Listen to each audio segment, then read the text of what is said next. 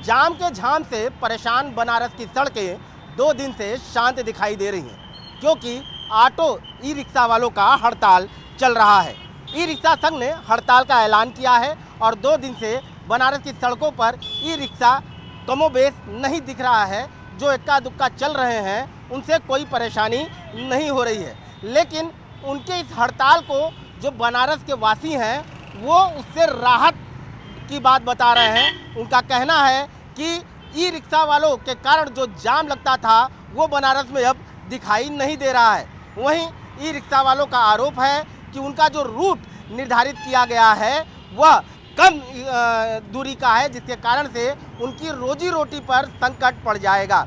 लेकिन इस पूरे मामले पर जिला प्रशासन ने जो एक रास्ता निकाला है वो रास्ता ये है कि उनको रंग के हिसाब से क्यूआर कोड के हिसाब से अलग अलग रूट दे दिया गया है ताकि जाम को लेकर के कोई समस्या ना हो और बनारस आने वाले पर्यटकों से लेकर बनारस वासियों को जाम से निजात मिल सके। ई रिक्शा वालों के लिए क्या रूट संचालित किया जा रहा है? क्या पूरा नियम लगाया जा रहा है जिससे कि बनारस के जाम को राहत मिलता है एक्चुअली होता क्या है कि जो हमारा काशी क्षेत्र है जहाँ के भी ई रिक्शा हैं या जो भी हैं, वो ज़्यादा से ज़्यादा कोशिश करते हैं कि कैंट रेलवे स्टेशन आ जाएँ गोदौलिया पहुँच जाएँ, वो सॉरी मैदागिन चले जाएँ या गोदौलिया के नज़दीक से नज़दीक चले जाएँ। और शहर में पूरा छोड़ लें तो लगभग मेरे ख्याल से बाईस, तेईस, चौबीस के आसपास, हज़ार के आसपास इनका है। तो इतनी छोटी जगह में इतने ई रिक्शा को कैसे समायोजित कर सकते हैं? तो उसके लिए हमारे अधिकारियों ने एक, पहले तो काशी जोन को लिया है। इसको चार उसमें डिवाइड कर दिया है। तो जैसे एक पहला जोन हो गया आपका कोतवाली है आदमपुर है जैतपुर है तो उसका कलर कोड अलग रहेगा। फिर दूसरा हो गया अ, क्या नाम है ये चौक लक्सा और अ, हमारा ये सिगरा चेतगंज। ये दूसरा जोन हो गया।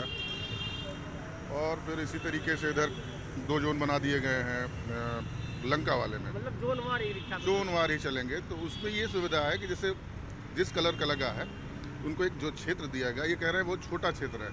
छोटा क्षेत्र नहीं है आप उसमें लगातार चलेंगे तो आपको उतनी ही आमदनी होगी जितना आप दूर दूर से आके कर रहे हैं। तो एक तो रिक्शे की संख्या भी कम हो जाएगी। जो हमारे लोकल वाले लड़के हैं जैसे जो जिस थाना क्षेत्र का है तो उसको ज़्यादा दूर जाना नहीं पड़ेगा। उसमें कमाई भी हो जाएगी। तो जैसे कभी कभी होता है किसी का बैटरी ख़त्म हो गई तो मैं धक्का लेके चले जा रहे हैं। तो उसी सबको दूर करने के लिए बाकी और कुछ लोग इसको गलत तरीके से बता भी रहे हैं जो यूनियन वाले हैं कि धरना करेंगे वो करेंगे हमारा नुकसान होगा। इसमें सिंपल सा है नुकसान किसी का नहीं फ़ायदा सबका होना है।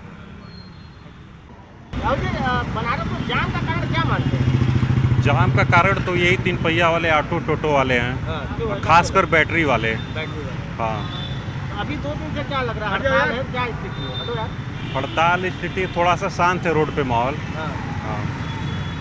यातायात व्यवस्थाओं को करने के लिए रूट संचालित किया जा रहा है टोटो हम्म। वालों का। हाँ हाँ। तो इससे जाम को लेकर क्या क्या राहत मिलेगा नहीं बहुत बढ़िया होना चाहिए। इनका कोई टाइमिंग होना चाहिए समय होना चाहिए। बहुत ज़्यादा ध्यान देना चाहिए इन पे क्योंकि इनको रोड पे चलने का कोई सेंस नहीं होता। मैं तीन साल से राइडर हूँ गाड़ी चला रहा हूँ। इनको कोई नहीं कि मतलब ये बीच डिवाइडर पे रुक देते गाड़ी अधिकारी की गाड़ी पीछे कोई उतर के चार थप्पड़ मार दी इनको कोई सेंस नहीं होता है। एक्सीडेंट हाँ यहाँ पे लेना चाहिए। अपना नाम बताइए। हाँ? अपना नाम आर डी वर्मा मेरा नाम। है बर्मन जी बनारस में जाम का कारण क्या मानते हैं? बनारस का जाम क्या ई रिक्शा वाले लोग दोषी होते हैं? जाम का कारण देखिए एक तो जो है ये ऑटो वाले जो है ना ये बहुत बहुत ज़्यादा हो गए हैं और बहुत गलत चलाते हैं। समझ रहे हैं? रूट संचालित किया जा रहा है इनका। हाँ। ये कितना जान से राहत दिलाएगा? थोड़ा बहुत राहत तो मिलेगा ही। थोड़ा राहत मिलेगा। हाँ ज़रूर दो दिन से आप सड़क पे चल रहे हैं। हाँ। ये ई रिक्शा वालों का हड़ताल है। हाँ। क्या कहेंगे इसको लेकर के आप? दो दिन से थोड़ा सा राहत मिली है देख लीजिए हड़ताल है तो। तो मतलब रूट संचालित होना चाहिए लोगों का। बिल्कुल होना चाहिए। फ़िलहाल ऑटो रिक्शा वालों का जो हड़ताल है वो जारी है लेकिन इस हड़ताल से बनारस वासियों को बड़ा राहत मिल रहा है। कैमरामैन पंकज सिन्हा के साथ में रवि पांडे न्यूज़ एटीन वाराणसी।